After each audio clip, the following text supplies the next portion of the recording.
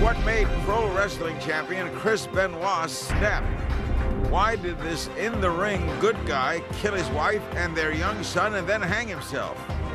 Chris Benoit's good friends and fellow wrestling celebrities tell us what they know about his life and what they think may have gone so tragically wrong. Joining us, WWE superstar John Cena, talking exclusively with me. Former pro wrestling champion Bret the Hitman Hart, who knew Chris Benoit for years. And Benoit's former close pal, former WWE star Chris Jericho.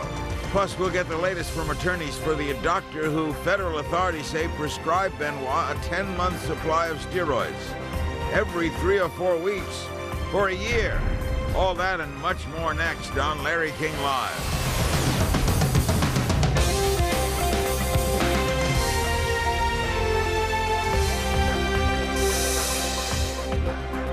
Good evening. The wrestling world and its fans still reeling from last month's suicide and double murder involving WWE champion and star Chris Benoit. His friends, colleagues, and law enforcement are trying to figure out exactly what happened at his Georgia home the weekend of June 22nd. Excuse me. Benoit apparently strangled his wife Nancy and suffocated their seven year old son Daniel and then hanged himself. We begin with John Cena, the WWE champion and superstar. He knew Chris uh, Benoit professionally. Uh, Bret Hitman Hart is in Calgary, Canada. He's the former pro wrestling star who knew Chris Benoit for many years. In fact, Chris started with Bret's father's wrestling company in Canada. And in 1999, you remember Bret's brother Owen died tragically, falling to his death in Kansas City during a stunt for a pay per view uh, wrestling event. And here in Los Angeles, Chris Jericho very close friend of Chris Benoit, former WWE star. He held six different titles, and he's author of A Lion's Tale Around the World in Spandex. John, uh, what'd you make of this? How'd you hear of it? Mr. King, we were. Uh, Larry. Larry, we were actually uh, in Corpus Christi, Texas, getting ready to do uh, our regular Monday Night Raw broadcast, and it really just really caught everyone by surprise. We heard of it about, about two hours before we went on the air, and um, it was such sudden and disastrous news that the, the right thing to do was, was, was to cancel the show. And it really, it really hit everybody like a ton of bricks. To your knowledge, was anything troubling him? No, absolutely not. And I think if you ask anybody who, who knew Chris, I strictly knew him professionally. But the guy was ironclad. He was real quiet. He kept to himself. He had ultimate respect for his workplace. He was, he was a model employee. I have no idea where any of this came from. And you're in a violent sport, but I understand he was not a violent person. No, he was a great guy. He was a great guy to be around, and that's, that's the, ultimately the strangest thing about this whole thing. No one saw this coming. Chris, you were a, a friend as well as a colleague, right? Yes. Yeah. What did you make of it? How'd you hear about it? Um, I got a call from somebody uh, that was at the show that told me about it, and um, it, it's still very hard to discern the differences between the two guys. The guy that did these horrible, senseless, violent, brutal acts at the last weekend of his life, and then the guy that I knew for 15 years who was a mentor, a big brother, a close friend, a confidant, and a, and a positive influence to me. Uh, professionally and, and, personally. And it's still, you know, two weeks later, it's still very hard to try and come to grips with, with, with any kind of semblance of sense or reason and we'll probably never know him. That makes it even worse. I spoke to his father and mother. I know you, they told you that yeah, they spoke. they did. And they can't conceive of it. They, it's, it's, they said they don't sleep because they, they can't find a reason. And nobody can, because that's the thing. What John was just saying. Everybody who knows Chris or kind of knows him knows him as a very private, silent guy, but also as, as a very caring uh, heart of gold type guy. A, a friend of mine once said he's a man's man, and he meant that he's what he said was was what you got, and what you got was was was a real, like I said, just a caring, heart-filled guy. So this is that's why it's such an opposite thing for him to do this. If you if you if you lined up a thousand guys and said which guy would do this, he would be the last guy that I would guess. Whoa. Bret in Calgary, Canada, you knew Chris uh, Benoit for many years. Well, how did you hear about it? I heard about it from a friend of mine in the in the WWE, uh, Carlo DeMarco, who was the president of uh, the Canada operations of the company. He called to tell me, and uh, I think it was just a shock. I, I couldn't believe it. Do you, do you join? Do you join with what Chris and John have said that the, this is? Yeah, totally. I see it, saw it the same way. I, I every time I saw Chris, he was I mean, I was around him a lot of times, and he was always a cool guy, and a, he was calm and relaxed, and he was easygoing. And like, if you were to line up anybody in the room, he would be one of the last guys in the world you'd ever see something like this coming out of Chris Benoit. He was a class guy. He was a great guy. Uh, did you know about his relationship with his wife and son, Bret? No, you know, I, he never ever brought up personal stuff about his family. I mean, I always assumed uh, everything was okay. I think because I uh, didn't see Chris that much after I retired from wrestling, which was around 2000. So probably right around the time uh, Daniel was born was uh, when I sort of kind of lost touch with Chris a little bit, where I just talked to him here and there on the phone and saw him here and there.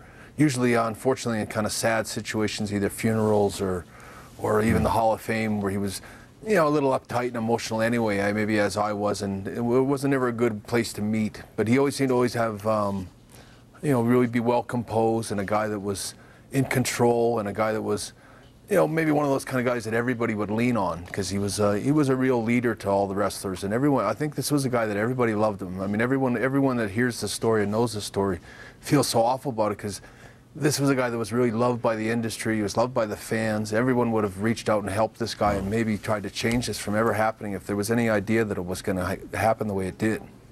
John, did you know anything about his relationship with his wife and child? Absolutely not. Like I said, uh, I, I'm at a loss just because I knew him as a professional, and he was one of the most consummate professionals I've ever been around. Did you Chris- wrestle against him? Absolutely. It's like Chris said. He was a mentor. He was a big brother.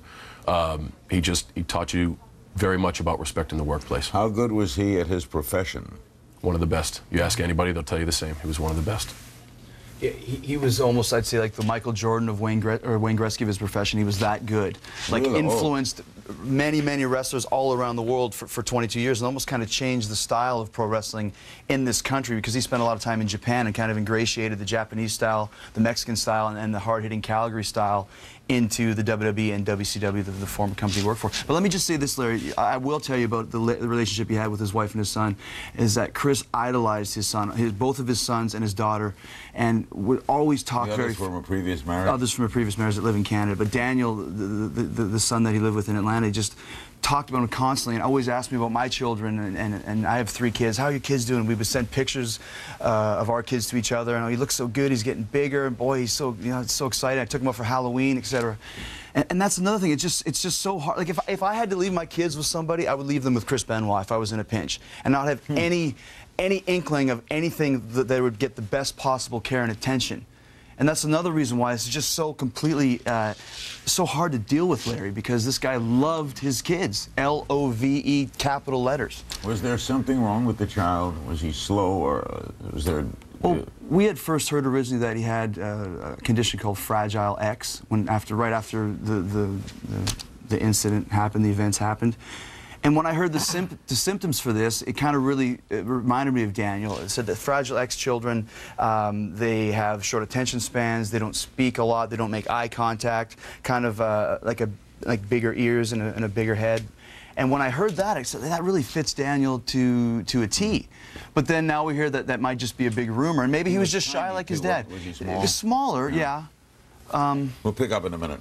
Coming up, the touchy subject of steroid use in professional wrestling, including the comments of wrestling legend Hulk Hogan. Don't go away.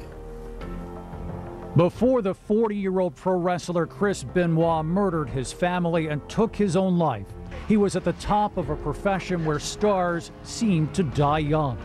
A 2004 investigation by USA Today determined that professional wrestlers are 20 times more likely to die before age 45 than professional football players. Chris Benoit starred on a stage steeped in drama and violence. But what authorities found in his home proved to be more tragic and brutal than anything inside the ring.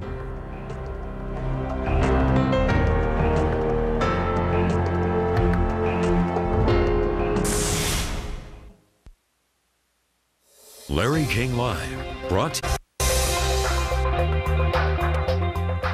We're back with our outstanding guest. There'll be more coming.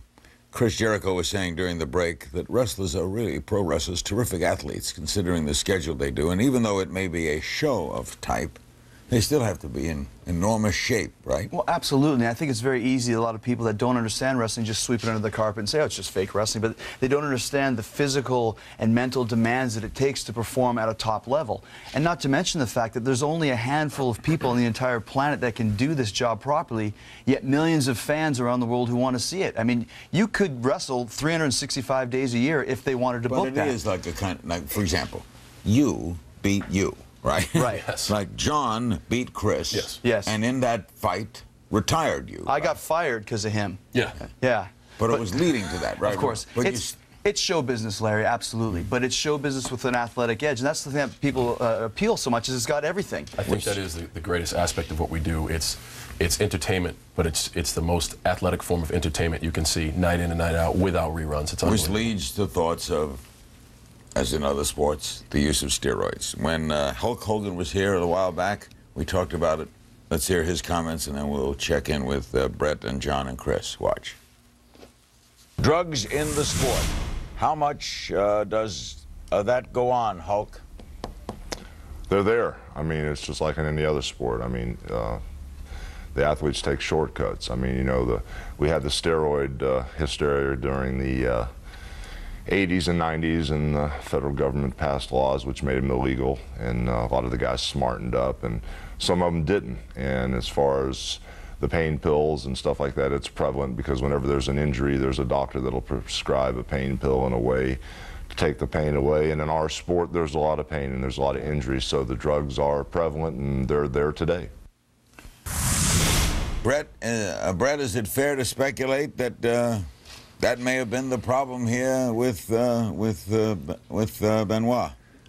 Um, you know, I keep hearing all this stuff about steroids, and you know, I'm just uh, my position is more like I just want someone to really prove it and make it narrow it down to that. And if it's gonna, if you're gonna pin this on steroids, then then you've got to have some factual, you know, some real facts. And I, I don't personally believe that this tragedy was a result of steroids. But I mean, if if it is, I want someone to prove that to me and convince me of that, and and then I'll, then I'll understand it better. But uh, right now, I think um, it seems to me that a lot of the wrestlers, uh, there, there's the WWE's got really strict drug testing, and they're not. Uh, they're they're boasting that their steroid testing is legitimate, and if it proves in a few weeks from now the toxicology report comes back that Chris Benoit wasn't on steroids, I think that uh, possibly someone should address the, the, the the idea that maybe some of these wrestlers are are not on steroids. They're maybe on growth hormone, which is probably worse or maybe worse and maybe misunderstood, and uh, nobody really knows what the the future But- is of uh, that drug. There's no knowledge, John, is there, of either growth hormone or steroids causing someone, I'm maybe wrong here, to be violent. Absolutely not. There is no proven knowledge, and I think that's why uh, Bret speaks so intelligent, intelligently when he asks someone to prove it. I mean, this, this, this was a tragedy. This was an unexplainable tragedy that lasted for nearly two and a half days. I don't, I don't see an out of control rage being responsible for that. But then again, I don't think we'll ever find out what exactly caused this. I, I really, I take great offense to not only people of the media pointing to this as being a, a case of roid rage when there hasn't been any proof of that, but also also pointing a finger at the WWE in whole, saying that we're all just a bunch of steroid monsters. If it was roid rage, why would there be a space of time between the death of the wife and the son and yourself? Yeah, I think that's something that's a misconception that if you take a shot of steroids, it's like it's PCP or angel dust, you just go crazy and do this. That's not the case. I spoke at length with a psychiatrist here in Los Angeles who specializes in murder suicides, and she told me it's never one thing. It's always a combination of many things. And I think it's lazy reporting and lazy investigation that a lot of people are just tying this up in a nice steroid bow and putting it in the corner and moving along and just saying that's the case.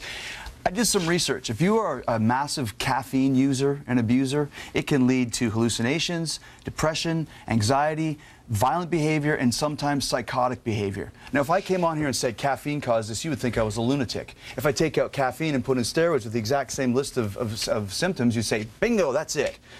It's a combination. I mean, this, this is not about steroids or wrestling. This is about a man who had some severe mental, damaging, horrible issues in his head that he kept bottled up inside, and it exploded into this horrible, violent act. And I'm sure there's many factors for it.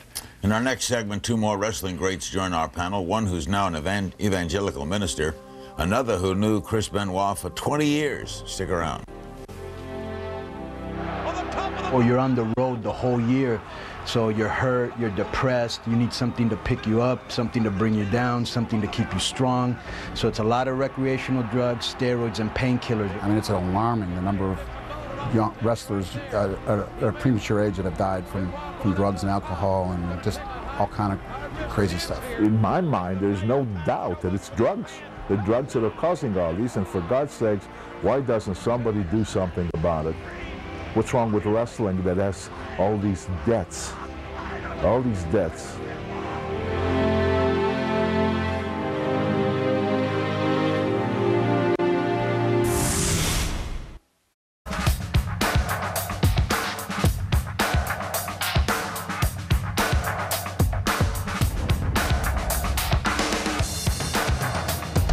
Welcome back to Larry King Live. John Cena remains the WWE champion and superstar. Bret Hitman Hart, he's in Calgary, Canada, former pro wrestling star. Chris Jericho, the former friend of Chris Benoit, a very big star himself. He's on. Have you you fired forever, or are you coming back? I don't know. I'm, I'm working right now to, to file the proper papers to try and see if I can come back. Let's hope so. I got a feeling they'll let you come back, and you'll come back against him. It'll, never mind. I got. I just have that feeling. We're now joined by Ted Million Dollar DiBiase, the former WWE star. His stepfather was Iron Man Di- DiBiase. He knew Chris professionally. He's the founder of the Heart of David Ministries. And Steve Blackman, former pro wrestler known as the Lethal Weapon, six-time hardcore champion, knew Chris for 20 years. Ted, what do you make of this? Uh, you know, I've, I've been listening, Larry, and, and, and, and I'm, I'm in total agreement with my friends here. It's, it's the most baffling thing that, that I've ever seen because nothing about Chris Benoit's character says that he was capable of doing this. I mean, uh, he was a man's man. He was a stand-up guy. He was uh, a guy that all of the other wrestlers looked up to and admired. Uh, he went way out of his way to help the young talent coming in, uh, and everybody respected him in every sense of the word. And, and, and again, I didn't know him personally that well on a professional level. I worked with him uh, uh, when I went back to work for the WWE for about a year and a half, um, uh, a year or so ago, and uh, he was always professional. And my understanding, you know, in the last two weeks in talking to some of my friends, is that Chris was even a guy who, and you could probably verify this, uh, given the opportunity, when it would have been easier for him to stay over in a town to make the next town, he would go home just to spend seven or eight hours with his family. That's true, yeah. He was in Jacksonville instead of just driving three hours to Orlando just recently. He flew back to Atlanta just for six or seven hours and flew back to Orlando. You're in the religious field now, Ted. Might it have been someone we hear sometimes they go religious overboard and die to take the family with them? Well, uh, you know, in trying to make some sense of it, uh, if if if for whatever reason that he and Nancy got into a fight, and and and you know, in a moment of of, of, of, of rage, perhaps he he killed his wife. Right. And then it's like, oh my gosh, you know, what's going to happen now? Uh, my, my life is ruined. I'm going to go to prison. And it doesn't justify it, but it could be in that state of mind, he might have thought that taking the life of his son was more of a mercy killing. And like, we'll, we'll all be together. I know that they said that they, uh, they found Bibles that he had placed by both Nancy and his son. And to me, that's, that's a, Significant. A, a significant and like an act of contrition. He had a great relationship with his son, though, didn't he, Steve? He Took his son to a lot of matches. Yes, I mean, his whole family, a good relationship with everyone. Um, and it's funny for all of those of us that knew him, you know, we all wish there was a definitive explanation on how and why he did this because it's hard for all of us to grasp. you know, we all have a morbid sense of curiosity to know, you know, exactly how and why, and you know, there's just no answer. You think about what the scene must have been like. Right. You know, put yourself. Anyway, we have an email from uh, Susie in Ajax, Ontario. Does the WWE provide counseling services for wrestlers if they have problems and need someone to talk to? Do they, Bret? You know, I don't know. I, I believe actually they do maybe now. They didn't when I was there, but you probably have to ask John Cena. He'd give you a better answer. John? Yes, they do. Through the whole uh, Benoit tragedy, even to this day, they still have a grief counselor coming to all of our events, as well uh, television broadcasts. But hours after his wife and he and son were dead, they were they were planning a, a, a telecast, and then they canceled the They telecast. completely canceled the telecast for feelings of all the talent involved. They figured that that was the right thing to do. They didn't push forward and just have the show for the sake of having the show, which I think it was a great call by the World Wrestling Entertainment. Um, and they let they let everyone grieve in their in their respective ways. And then every single show from then on out, there's been a grievance counselor there where you could see. Chris, I understand that there's a funeral for, for Nancy and the young boy on Saturday. Yeah, Saturday the 14th of July, yeah, in Daytona Beach. Nothing planned yet on. Uh, well, we, has the body been released? Does anyone know? I don't know. I just know that, that Chris's father is keeping it, the funeral very private, and I, I don't know if it's even been had or not yet. I'm Is not sure. Is that in Edmonton? Yeah, in Edmonton, yeah. That's where Chris Did, did. Chris ever talk about a problem with Daniel? Did he ever say anything to you about a problem in his marriage? Did he ever anything to the give you an way inkling? that the same way that if you and I went out for a beer, you'd say, "Oh, my wife sometimes she drives me crazy." You know, this the typical stuff that you talk about when you're married, but never anything over the line that I experienced, where you would ever think that something like this could happen, and especially with it, with his son. But even so, he loved his wife. I mean, they, they'd been through a lot together, and they've been together for geez, She almost was a 10 years. wrestler. She was a wrestler. Yeah, absolutely, she was. She was a great. You know, that's another thing too. I feel bad because she's been kind of pushed aside, but she was a great girl too, and she was a, a friend of, of, of my wife and myself, and a lot of. You know, uh, and go out of his way to like, well, I'll, I'll keep the stuff on because you're going to bring a, bring a, Right. a, a youngster in here to meet me and take pictures and everything. Went, went out of his way. He would also talk about the rest of his family in Edmonton as well. Yeah, his other two kids, and mm-hmm. We'll be back with more. We'll also include a phone call or two if you'd like to participate on this edition of Larry King Live. Don't go away. Chris Benoit was my hero, and I was privileged enough to be able to work with him and to know him as a person and to call him my friend. Anytime Chris Benoit went to the ring, he gave it 120% every single night of the week. He truly lived for the business. He just, uh, he did, he did everything for it. He was passionate. Um, but I, what I also knew about Chris was how passionate he was about family.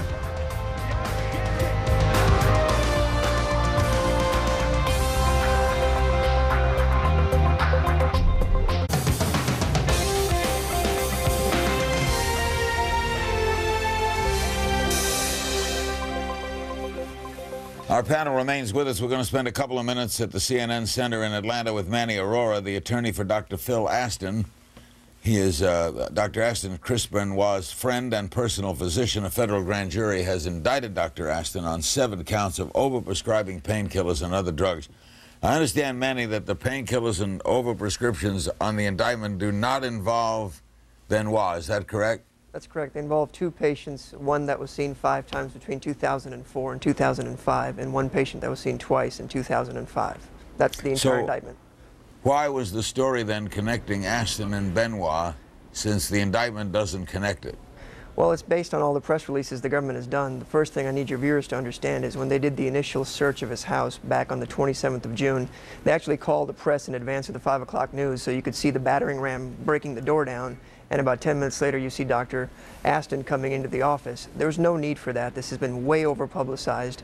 The only link in, and an explanation to say what happened to Mr. Benoit is saying that the doctor must have prescribed him some medication. There's been no proof of that, and the indictment shows that there's no link at this point. They were friends, Yes, they'd been doctor, patient, and friends for over six years. and how has your client pled? He's pled not guilty to those counts, and um, you know we're going to fight this all the way.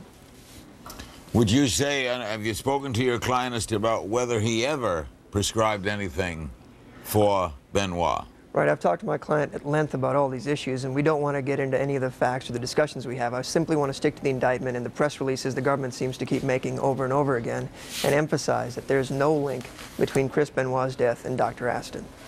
And you say that definitively, that I say definitively, if they have something, just like one of your other guests said, mm, tell them to bring the proof, and we'll fight it and we'll see what happens. Thank you, Manny. Manny Arora, the attorney for Dr. Phil Astin. Do you think this is going to go anywhere? I The don't steroid thing? Well, I think everyone's tapping the steroid issue just a little too much. It's got a certain mystique to it, so they just keep sticking on that issue. I've seen many guys take astronomical amounts of those things, not in WWE. I've, I witnessed that when I was in the smaller independent leagues working my way up, and I never saw anyone act like this, or even, you know, with no rage whatsoever. I'm sure these guys have witnessed, the, you know, the same I think thing. that deals to a lot of the a lot of the over-publicized hype because this is one of those things that is just unfathomable, unsolvable, and they need they need to point the blame on mm. something, and that's Well, like that's said, like it- it's like Chris said, it's the easy fix. It's lazy um, because it's a hot button topic. Steroids is the, is the but if that's like the case. calling the media to be at the house before you. Yeah, of course. That's right. And, and we're learning a lot about the media since this has happened. Well, and the, the, the, and the other thing, when you start talking about the number of wrestlers that have died before, under the age of 45 over a period of years, and when you try to link that to steroids, you know, most of those guys died, died of, of drug and alcohol related issues that had nothing to do with steroids. Another email from Anish in Mississauga, Ontario. Question Is the WWE biased towards bigger, more muscular wrestlers? Are wrestlers under pressure to bulk up and show more definition, like action figures? Hmm. John? That's a great question. I think that's one on everybody's mind. The WWE is biased to entertainers. What we do is entertain. It's You can world- be a little guy and be. You can, as long as you have the ability to put people in the seats and make them enjoy the event. That is what we do, and that is what we do best. Hulk Hogan said it best. Athletes take shortcuts. That is not WWE specific. That is along the whole broad of, of anything that has to do with athletes. Um, uh, in some ways, yeah, maybe. I I don't think it was ever the same for me after that. I don't think it was ever the same for my family. But I still, um, I still f- I feel a connection to it, and I still, um, I still care about the people that are in it. And uh, Chris was somebody that uh, was one of my favorites. Like if he was on, I watched him. Uh, both Chris and uh, Chris Benoit. And there's certain guys that I, I really admired. That I think wrestling to me is more, if I could describe it, it's a little more like figure skating than it is Yeah. than it is like anything else. I mean, it really You're takes kidding. two wrestlers to make each other and tell a great story. And the whole beauty of great wrestlers is they never hurt each other, not physically, not really seriously. I mean, you always feel it like a, probably like a football player feels it after a football game. But I mean, we feel it, but we're nobody's knocking any teeth out or breaking any ribs, and it is a real professional code that goes along with being a And- great wrestler. Steve, does the crowd know it? Yeah, I mean they understand. Do understand. they know it. it's a show? They know it's a show. They know it's an extremely rough form of entertainment. And I think that's what makes it beautiful. We let the crowd in. We let the crowd allow themselves to sit down and be entertained while we perform. Every- It's just like going to the movies, Larry. I mean, Exactly. we all know that you know the diehard isn't real, but Several hours after federal agents from the DEA busted open the doors of Dr. Phil Astin's office, they ended up with a truckload of boxes and file cabinets filled with evidence. The raid is part of an earlier search warrant executed by the local sheriff's office into whether Dr. Astin gave out medicines to pro wrestler Chris Benoit or any other patients without writing a prescription.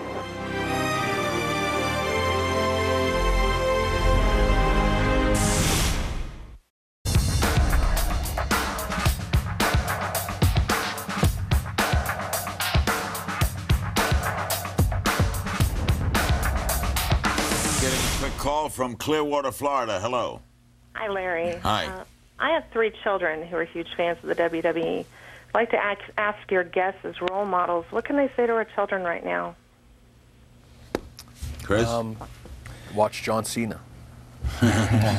well, I think you would have to maybe tell them this is like a, a, a, just a horrendous, horrendous exception to the rule of the fact that, that pro wrestling entertains millions of fans, puts smiles on, on the faces of kids all over the world on a weekly basis. I couldn't agree with you more. This is just really an an unexplainable crazed tragedy. exception. Yeah. It, it really is. It'd be like if you were a football fan when the OJ thing went down. What do you tell your kids? You know, You- you- you- And that- I that's- think, that's the I think it'd be is wrong to misjudge the whole industry based on this horrible tragedy and the people That's- in it. that's and really the- where it's a- it's totally well said. Bret's Let's check in with uh, also at the CNN Center in Atlanta with Scott Ballard, the Fayette County District Attorney. What's the latest on the investigation, Scott? Well, the investigators continue to study all the leads. Uh, everything that we look at still, we come back with the same conclusion that this was a murder-suicide. Um, we're waiting on the toxicology results to come back, and only then will we know what was in these bodies and, and be able to make any judgments about any impact of steroids or any other substances on the act. Do you expect, Scott, we, we will ever have full full closure of this? I doubt it. I mean, how do you ever explain how anybody can kill a seven-year-old boy in his own bed? Did you go to the scene? I did. What was that like for you? Well, when I got there, the bodies had already been moved. I only saw pictures of the bodies, but it was moving, especially being in that little boy's room, because you could see posters of his father on the wall. You could see an action figure of a wrestler. You could see toy championship wrestling belts on a chair over beside the bed where the boy was killed, and all indications were that this little boy idolized his dad. Does the, your investigation lead you to talk to psychiatrists? Um, I don't know whether the sheriff's office has talked with psychiatrists or not. I mean, and as a district attorney, would you? Well, if we had somebody we had to try, then perhaps we'd need a, uh, some expert testimony. I doubt we'll talk to a psychiatrist without a defendant in the case. So uh, even the toxolo- toxicology report is not going to give us a final conclusion. It's probably. not. And, and let's don't forget, no matter what substance was in a person's body, it's inexcusable to do this to your wife and to your child. Uh, I know that suicide is a crime, but it's a it's a non-punishable crime, right? Right. But the murder of the child and the, and the son, of course, and the, the child and the, the wife, um, inexplicable, uh, but you, you can't say, even if somebody's on steroids, that that's justifiable. When will the toxicology report come out? I'm, I'm not sure. It could be a couple more weeks or longer. Hmm. Therefore, are you still holding the body? Uh, I'm not sure if the body is still still being held or not. Thank you, Scott. Scott Ballard, the Fayette County District Attorney. It is true, is it not, John? We may never, never find out. Talk to the DA. He says, I don't know if they're going to see a psychiatrist. I don't know if they're still holding the body. And on top of that, first and foremost, he'll never know exactly what caused this. You know, it, it's the same thing when, with Andrea Yates when she you know, killed her five kids. She wasn't arrested, she wasn't on steroids. She had some serious mental issues. And I think that's going to be a, quite a huge thing with Chris's case as well. I mean, whether it was steroids or, or, wrestling or whatever, I think he had serious mental problems that led him to do this. The problem is nobody will And we'll never know. That's the thing. Yeah. And, and he would, ha- he would, have to because uh, the the Chris Benoit that we all knew and we all loved, you know, in in his right mind couldn't possibly have done this. So there has to be there's obviously something that we don't know, and and you might have uh, touched on it earlier because Chris was so quiet. Uh, sometimes you don't know uh, mm-hmm. when a person's quiet like that. They might be holding on in a lot of things yeah. that none of us know about. Well, Let's check in with Anderson Cooper. He's going to host AC 360 at the top of the hour, and uh, we'll be back with more of the puzzlement. Anderson, what's up? Larry, we're following breaking news tonight. Reports that the Pentagon will soon reveal that the Iraqi government has not reached any of the benchmarks set for it. That's right, not a single one. This is the White House holds high-level meetings on the war. We're going to have the latest from Washington and on the ground in Iraq, keeping them honest. Plus, cameras on the street watching your every move. Police in Britain use them to capture terror suspects. Police here in America say they help cut back crime. Is that true, however, or are they just eating away at our privacy? We'll investigate, and we'll take you to a funeral for a word, the N word. All that and more just on ahead on 360. Larry? That's Anderson Cooper, AC 360 at the top of the hour. We'll be back with more. Don't go away. Chris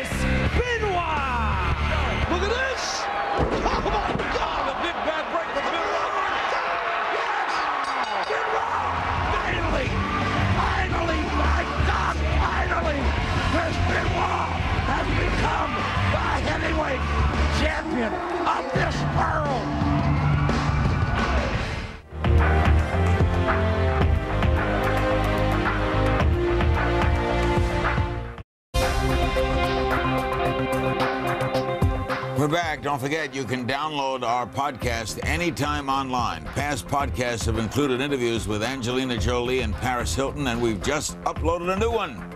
It's our interview with former Beatles Paul McCartney and Ringo Starr, along with the widows of John Lennon and George Harrison. To download it, just go to cnn.com slash Larry King or to itunes.com. We are now joined by Jerry McDevitt. He's the attorney for the WWE. You've been listening to the program. Anything you want to respond to? Anything the organization should or, or hasn't done? Well, I think, Larry, if you listen to these gentlemen talk, they, uh, they can tell you what Chris Benoit was like better than I. I did not know the man. And I think they uh, indicate what the organization is really, truly about. The quality of these men is self-evident. And you have no doubt that the WWD, WWE is doing all it can do? I think, Larry, what the WWE is doing is remarkable on the front. Uh, we started this drug testing program in February of 2006. Anybody that has ever dealt with drug testing programs realizes there are complexions to them. Uh, you constantly update them. You constantly learn uh, as you battle these performance-enhancing drugs, and I think they're doing their part. We have an email question from Michael in Evansville, Indiana. At what point are pro wrestlers going to say enough is enough, band together for a union that would protect their contracts and get proper benefits? John? I believe that uh, professional wrestlers, WWE specific and across, they all know what they're getting into. Nobody is forcing them to get in the ring. It's it's it's a job that they all want to do. Hopefully, it's a job that they all love to do. I certainly do. I enjoy what I do for work, and I love what I do for work. Uh, that is that's just a that's a question that, that won't ever be answered because I don't think it'll ever be asked. Is the pay good, Steve? Yeah, the pay, the pay, it's, it's what you make of it. I mean, if you if you're working down the bottom, the pay is decent. If you're working up on top, the pay is phenomenal. But you have to bust your butt to get to the top. What could Chris have made? When I, I mean, what could uh, Benoit have made, Chris? On a yearly basis, I'd say probably anywhere from half a million to a million dollars, depending. He was the WWE champion for a long time, so he was probably in the seven figures at that point. My guess. So that would be in the top rung, Yeah, when you're the champion, that's the top top of the ladder. even though it's it's scripted. Yeah, but it's, it's scripted, of course. But still, if you if you're the champion, you're the champion for a reason. It's because people are going to pay money to see you on pay-per-view, live in the in the arenas. Uh, so that's going to translate into more translates to a money. business standpoint. That's right. Yeah. Another call, Paducah, Kentucky. Hello. Thank you, Larry. Larry. Gentlemen, good evening. Um, I'm just like the rest of the fans and many of those who have worked with Chris Benoit in the past, still can't get over that he would even do something like this to his wife and son.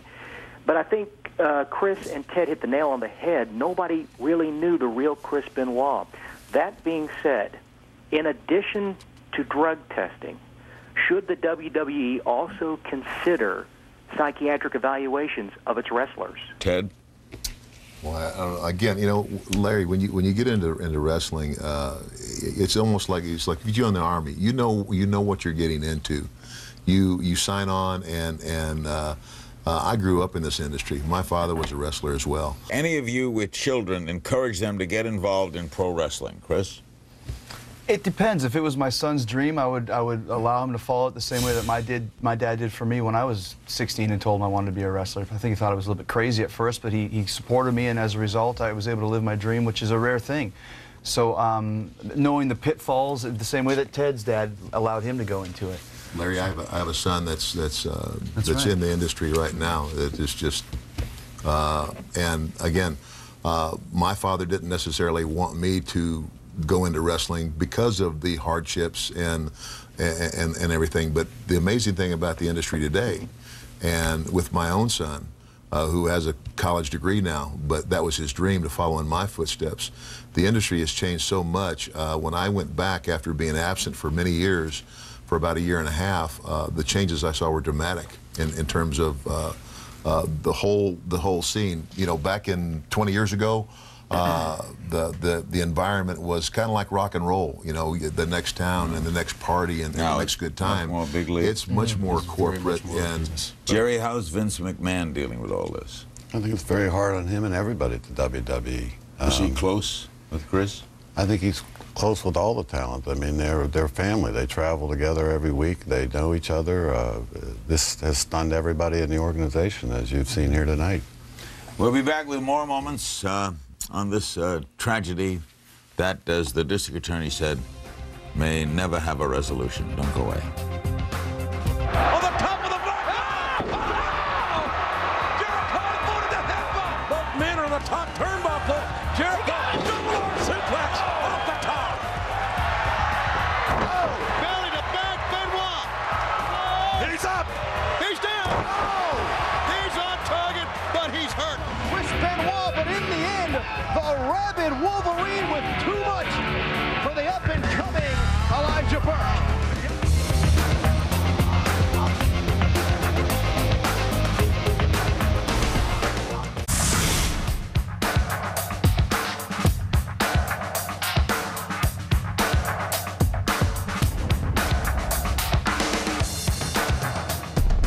Jerry McDevitt is the attorney for the WWE. Can you confirm that Chris Benoit took a drug test in April? Yes, sir, he did, and he was clean on all drugs. Clean on all drugs in April. How frequently are WWE wrestlers tested? The uh, testing is all random. It's designed so that everybody. know when you're going to be tested. Larry, since Right. February 2006, I've been tested six times. Six times. Yes. Every talent will be tested at least four times a year under the program. What about a union, Bret Hart? Should they have one? I, I, I think definitely wrestlers need a union. Uh, I think that the, probably the janitor sweeping up, uh, sweeping up at WWE has benefits, more benefits than, than any wrestler. And unfortunately, too many wrestlers are ending their their lives because they're uh, they're at a point in their life where they used to be stars and they used to be famous and they used to be important and they have nothing left and they're broke and they're depressed about who they are. And there's too far too many wrestlers that are killing themselves left and right. And I definitely think that the same problem is just going to keep occurring and occurring and occurring. And I don't know why the wrestlers don't have a union. There's no protection. said. There's no benefits for them. They really are like circus animals. Is Vince McMahon, he would be angry at that statement, would he not? I can't speak for Vince. I don't think unions have solved any of the problems with performance-enhancing drugs in baseball or football or anywhere. Um, no, but the baseball players do do a lot better. There's no better union in America What about than the just baseball benefits? players. How about dental? Yeah, we would- I, I we think as a result of this, the WWE is going to do whatever it takes so that something like this never happens again. Yeah, right. I'm If sure that every- includes evaluations or unions or whatever, because this Gonna is a have to be a serious. it's going to have to be. This is a We, uh, serious issue. Email question from Brian in Buffalo. As a wrestler, Chris Benoit was one of the best. Do you think he'll ever go into the WWE Hall of Fame, or will his final hours overshadow his great career?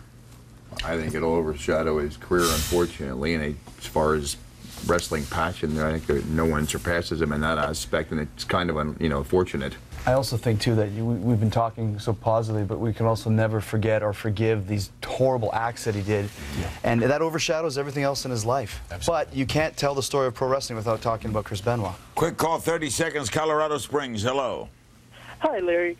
I was just wondering how the panel felt about uh, the WWE pretty much acting as Chris Benoit never existed. Uh, I'm sorry, we're running up on time. I want to apologize. Thank you all very much for coming. Thanks for having us. Let's hope we do get some definitive answer to this incredible uh, puzzlement. Thank you all for joining us. Wednesday night, Daniel Radcliffe will be here. He plays Harry Potter. I saw the new one today. Wild.